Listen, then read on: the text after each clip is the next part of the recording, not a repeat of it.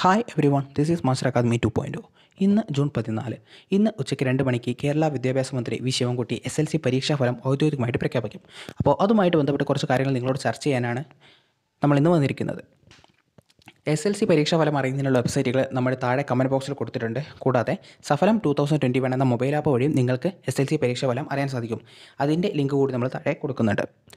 പിന്നെ ഏറ്റവും കൂടുതൽ വിദ്യാർത്ഥികൾ ഉന്നയിച്ച ഒരു ചോദ്യമായിരുന്നു നിങ്ങളുടെ എസ് എൽ സി റിവാലുവേഷനുമായിട്ട് ബന്ധപ്പെട്ട്. റിവാലുവേഷനുമായിട്ട് ബന്ധപ്പെട്ട് നിങ്ങൾ അറിയേണ്ട ആദ്യത്തെ കാര്യം ഓരോ പേപ്പറിന് നാനൂറ് രൂപ വെച്ചാണ് വരുന്നത്.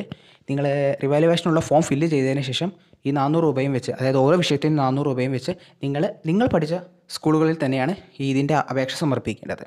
പിന്നീട് ഏറ്റവും കൂടുതൽ വിദ്യാർത്ഥികൾ ഉന്നയിച്ച മറ്റൊരു ചോദ്യമായിരുന്നു നിങ്ങളുടെ ഗ്രേസ് മാർക്കുമായിട്ട് ബന്ധപ്പെട്ട്. പക്ഷേ ഗ്രേസ് മാർക്കുമായിട്ട് ബന്ധപ്പെട്ട് നമുക്കിപ്പോൾ അറിയാൻ സാധിക്കുന്നത് എന്താണെന്ന് വെച്ചാൽ നിങ്ങളുടെ കണ്ടിന്യൂസ് സ്റ്റഡീസിന് ഗ്രേസ് മാർക്ക് ഉൾപ്പെടുത്തില്ല എന്ന് തന്നെയാണ്. പക്ഷേ ഇതിനെതിരെ വിദ്യാർത്ഥികൾ ഹൈക്കോടതിയിൽ ഒരു ഹർജി സമർപ്പിച്ചിട്ടുണ്ടായിരുന്നു. അതിന്റെ വിധി ഇന്നോ നാളെയോ ആണ് വരിക. അത് വന്നാൽ വന്നതിന് ശേഷം മാത്രമേ നമുക്ക് കൂടുതൽ കാര്യങ്ങൾ ഇതിനെക്കുറിച്ച് പറയാൻ സാധിക്കൂ.